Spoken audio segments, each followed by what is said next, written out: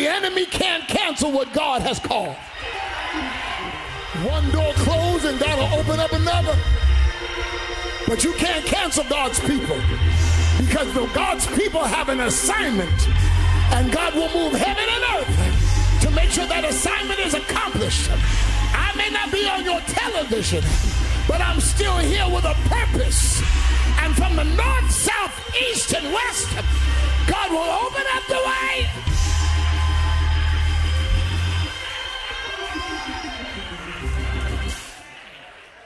Because you can't cancel God's people. Because we're a royal priesthood.